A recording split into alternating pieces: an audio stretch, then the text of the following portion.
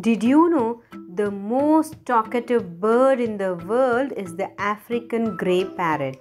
One parrot could say over 800 words.